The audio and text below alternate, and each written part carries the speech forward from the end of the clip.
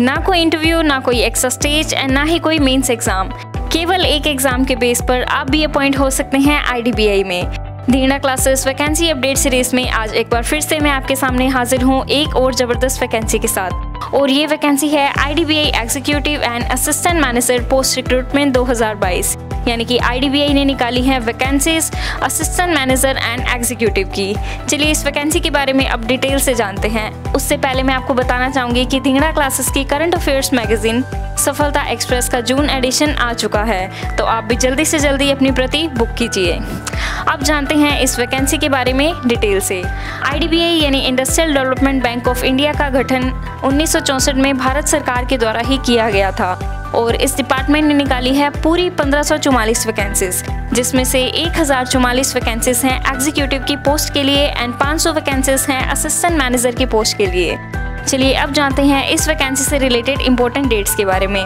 इस वैकेंसी के लिए फॉर्म फिल होने तीन जून से शुरू हो चुके हैं एंड फॉर्म फिल करने की आखिरी तारीख है सत्रह जून। एग्जीक्यूटिव के लिए एग्ज़ाम होगा 9 जुलाई को एंड असिस्टेंट मैनेजर की पोस्ट के लिए एग्ज़ाम होगा 23 जुलाई को।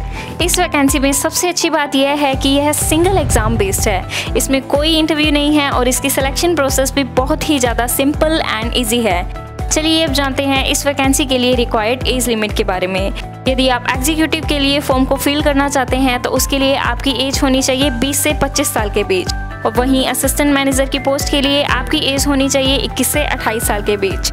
साथ ही अगर आप किसी रिज़र्व कैटेगरी से हैं तो आपको उसमें रिलैक्सेशन भी मिल जाएगा। दोनों ही पोस्ट पर क्वालिफिकेशन में ग्रेजुएशन मांगी गई है। आप चाहें तो दोनों फॉर्म को भी फिल कर सकते हैं। दोनों ही एग्ज़ाम्स का सिलेबस एंड एग्ज़ाम पैटर्न एकदम सेम होगा। यह एग्ज़ाम 200 मार्क्स का होगा, जिसमें आपके सब्जेक्ट्स होंगे English GK reasoning and maths जिसके लिए आपको पूरे 120 मिनट यानी कि दो घंटे दिए जाएँगे।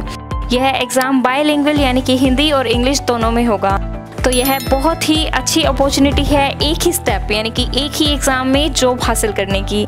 लास्ट डेट का इंतज़ार किए बिना जल्दी से जल्दी आप ये फॉर्म फिल कीजिए और ऐसी और जानकारी के लिए बने रहिए धिंगड़ा क्लासेस के साथ।